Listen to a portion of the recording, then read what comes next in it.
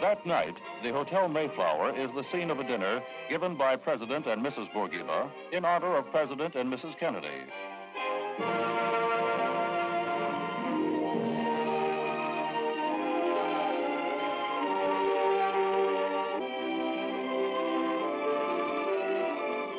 Ambassador Habib Bourguiba Jr. escorts Mrs. Kennedy, while Mrs. Bourguiba Jr. is escorted by President Kennedy.